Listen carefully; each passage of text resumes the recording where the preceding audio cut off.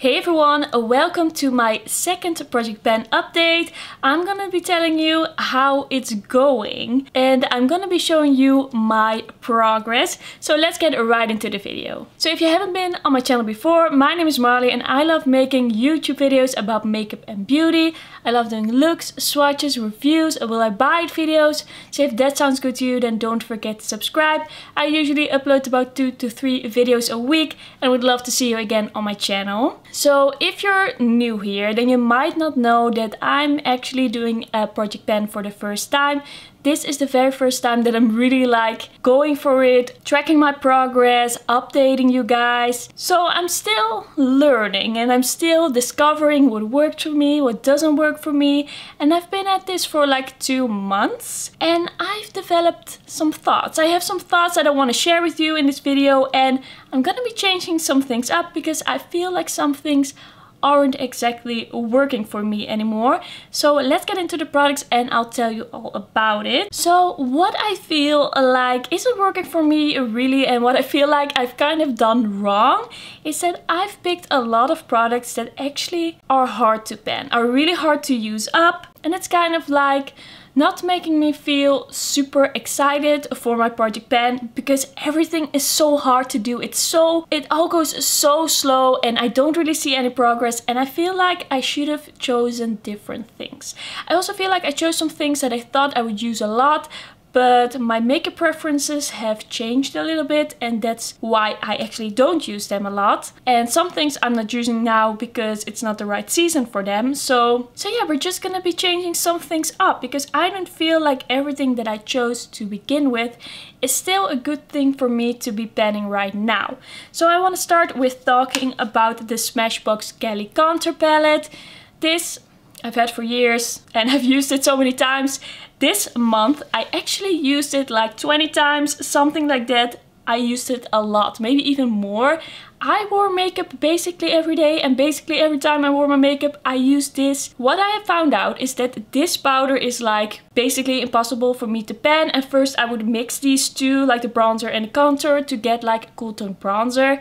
But then I thought this is a bit of a soft formula. So if I focus on that a bit more, then I will maybe hit pan because I can see progress. I've used this particular one so much and I can actually see a difference. So I hope you can kind of see in the bronzer, you can definitely see that I've used it a lot. I personally can really definitely see a difference. I feel like that isn't going too bad. It's going quite well.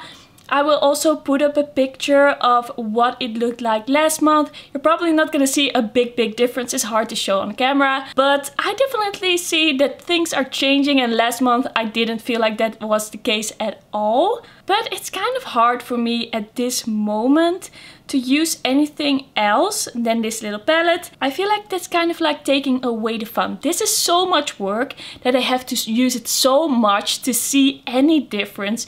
And I'm just using this and using this and completely forgetting about my other bronzers and I don't really feel good about this. So I was actually thinking about switching this up, but just for a few months and then bringing it back later in the year. I just want to give another bronzer a chance and just use my other bronzers and then still use this of course, but then see how I feel about it if I use it later on. I just kind of want to take a break from this and then use it again later. So I'm not completely giving up, but I just want to mix it up a little bit because this is just, this is so hard to do for me.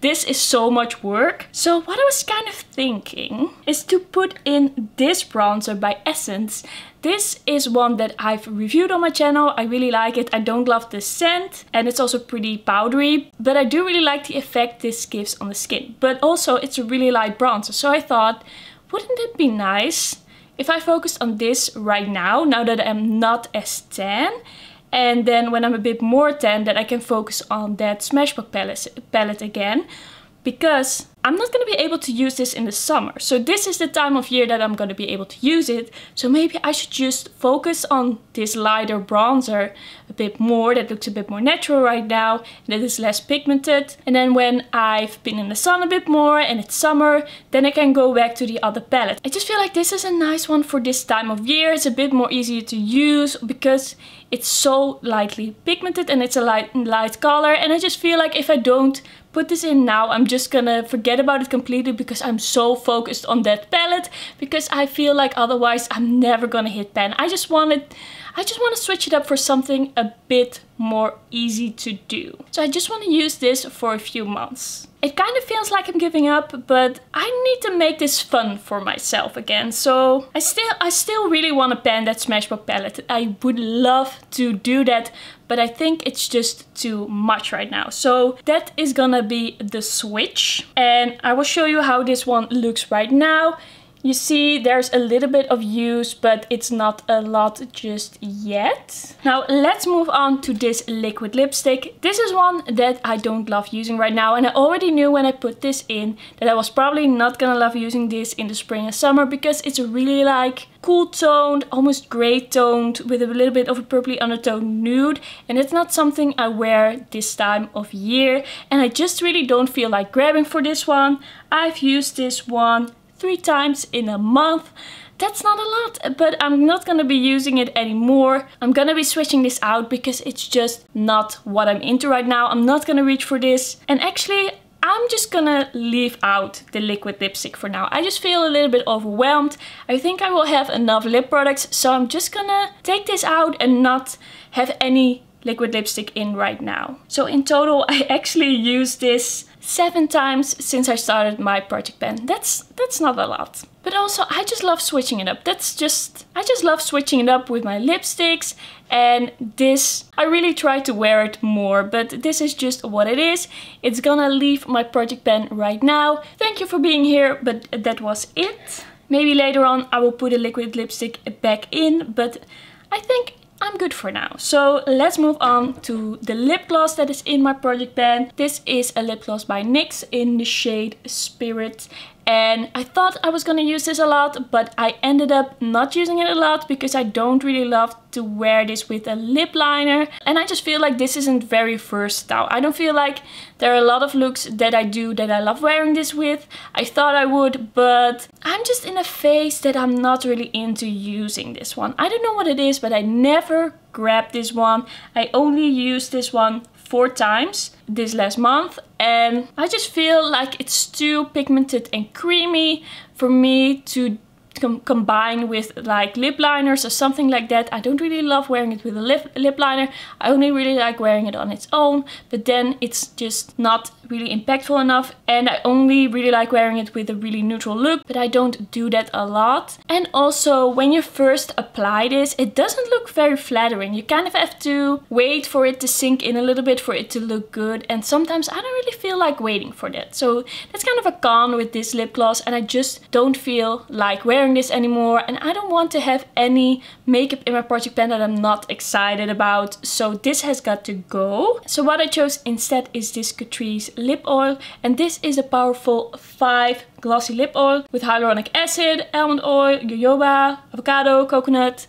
It's so nice, it's so hydrating and I feel like I can wear this with a lip liner but I can also just wear it on its own. It's really hydrating. I feel like this is a bit more versatile and I can see myself wearing this with a bit of a cool tone pinky lip liner but I can also see myself wearing this just on its own. Sometimes I use it more as a balm, sometimes I use it more for like no makeup makeup looks, make my lips just look a little bit more juicy, just has a slight bit of color to it. I think I can wear this quite a lot. Maybe I won't always use it like for full on makeup, but it's just so easy to throw on. There's not really a fuss with this one. I feel like there are multiple occasions where I could grab for this one. So that's why I'm gonna put this one in instead of that other gloss. Then two things I am gonna keep in. One is this little NYX eyeshadow that I use as a highlighter. This one I actually used this one I actually used six times. I I'm not really in a rush with using this one because it already has a pen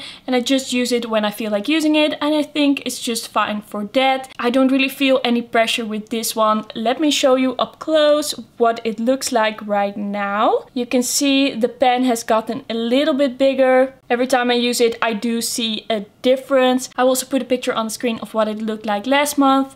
The pen just slowly grows bigger and I think it's fine to just keep this in my project pan, but not focus on this one too, too much. What I am focusing on is this Catrice highlighting eyeshadow. I've used this a lot.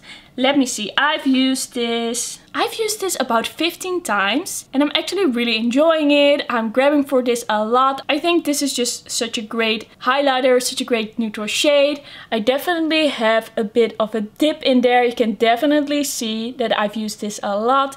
And this is one where I'm like, if I go on for a few more months, I'm definitely gonna hit pan on this one. And I just feel more excited about this one than about some of these other products. I just really feel like I'm gonna do it. I'm gonna go for it this is something I can do.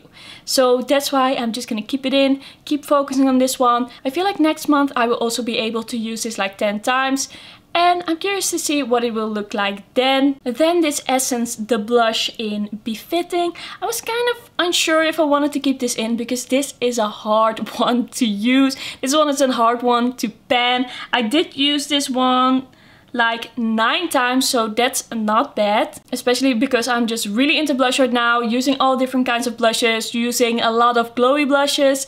So I'm actually not mad at that. I've used it quite a lot but you don't see a big difference. It's just a really pigmented blush and it's not powdery at all. So I will once again put up a picture of what it looked like last month but this this is a tough one. This is gonna take a lot of time and i told you that my goal was to make sure that like the writing wasn't visible anymore but that's also gonna take quite a long time. But i think because i took out the bronzer that was really hard to pen i'm gonna keep this one in.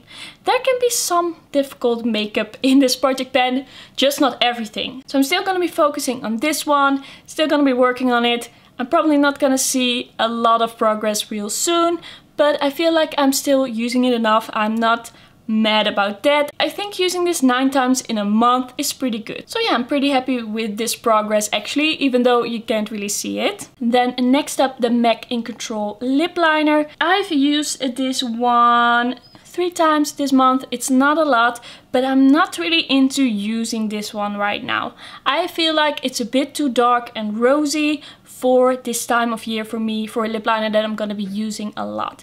I feel like I used to wear shades like this almost every day, but now I'm more focused on eyeshadow and then I usually grab for a more nude shade. I also feel like a nude lip liner is a bit easier to combine with other lip shades than this really specific rosy tone. So not a lot has happened here, I haven't used it a lot, but I also don't feel like that's really gonna change because this is just not a color that I'm gonna grab for a lot of times in a month. I'm just more into nude shades right now. Of course I love rosy lips and I do want to wear a rosy rosy lip once in a while, but it's not something I'm gonna wear like 10 times in a month. And this is not really gonna move any faster and I don't really feel inspired right now to keep using this one up. So I'm gonna replace that one with the lip liner Nice and Spicy by MAC. This is from the same range, the Pro Longwear range. I really like this shade. It's like a bit of a cool toned nude, like a neutral nude. It's not really extremely warm. It works well together with more warm and more cool nudes. And I feel like I'm already using this one quite a bit. And I'm definitely using it more than a rosy lip liner. So I feel like if I focus on this one, I could definitely use this one quite a bit. And I just want to see what happens if I pick a nude lip liner if I'm gonna use it a lot more. So In Control is out and Nice and Spicy is in the project pan right now. Then the lipstick that I have in my project pan is the MAC Mehr lipstick and I thought I was gonna use this quite a lot because there was a time in my life that I used this one a lot. I used it a lot in combination with In Control but as I said, this is not really the type of shade that I'm reaching for a lot right now. And I actually only use this one three times. That isn't a lot. But I'm gonna be keeping it in because I just really want to use this up. and I'm gonna accept that it's gonna take quite some time, but I just wanna use it more. It wouldn't feel right if I took this one out. It's just with In Control, with the lip liner, I don't really feel a rush. I don't feel like I really have to use it up. But this one is a bit older and I just feel like I want to use it as much as I can. And that's just what I'm planning to do and that's just what I'm gonna do. So I'm gonna be keeping this in, but I don't think there will be a lot of monthly progress. And probably when I use it, I will still use the In Control lip liner. But I feel like if I have another lip liner, I can also combine it with a lot of different lip shades. And then it will be easier to use up. then okay so this eyeshadow I thought I was gonna use up or I thought I was gonna hit pan on it the first month but I already used this like 17 times in total 12 times this month. I used this one a lot and I still haven't hit pan it's the endless eyeshadow. Is this one over here. Let me just take it out. I thought I was gonna hit pan on this one so fast I thought this is gonna be easy peasy and I already had quite a big dip in it when I started, but now we still have a big dip, but no pan. And every time I use this, I'm like, I'm gonna hit pan. Every time I do a look with this, I'm like, I'm gonna hit pan today. It's gonna happen, swirl my brush around and nothing happens. It's still the same. The dent has gotten a little bit bigger, but there is no pan inside. I feel like it could happen any moment, but it could also happen after like 20 more uses. I don't know. But I'm gonna keep going because I just feel like I can do this. I'm close. Even when I'm not close, I feel like I'm close this is gonna happen. So last up, last month I was really proud of my progress with this perfume. It was going so well, I was using it a lot, I was using it almost every day, but it has gone bad. When I first started using this in my project pan, it still smelled pretty good. It's an older perfume in my collection, but still smelled pretty nice. It was a little bit like alcoholy, but it smelled nice when I sprayed it on, so I felt like I could use it. But the more I use it, the more it just smells like alcohol and I don't really smell the scent anymore and then when I apply it I don't really smell during the day I only smell alcohol and it gives me a headache so it's like it has gotten unusable for me. I really wish I could use this up. I know I could do this in like a month or two. I'm so far with this one. I've gotten so far with this one, but it's just, this is just not something I still want to use. I just should throw it out. It's just too old. I feel like sometimes with products like makeup products or beauty products or perfumes it's like if they are like full and when you haven't used them a lot you can keep them for a long time and it will smell good and it will look good for quite a long time. But if you have an older product and then you start using it a lot it might go bad really fast. And I think that's what happened with this perfume. Because I used it so much maybe a lot of air came into the bottle or something like that. Just from the moment I started using it up I started using it more it went bad so this is gonna leave my project pan and it's gonna move to the trash can. So I actually thought it was quite a difficult decision. I didn't really know what I wanted to replace it with. Of course I want a perfume in my project pan but I didn't really know what would be what would be like the best option and in the end I went with this perfume. This is the Daisy Love one and I've already used it quite a bit but I feel like I could use it more and I don't do it because it's a bit more expensive and I tend to be a little bit too careful with expensive perfumes and I just want to make myself use expensive perfumes more because it's also sad if you don't use them up and then they go bad and you have to throw them out. It's better to just use what you pay for, right? So that's my goal with that one. I think it's a really nice kind of sweet scent. It has a little bit of woody notes in there. It has some flowery elements to it. I think it's a really nice everyday scent that is a little bit more sweet. It's not like extremely fresh and that's what I really like. So I'm just gonna see how far I go. I'm gonna see how much I can use this and I hope I can kind of get used to using more expensive perfumes more.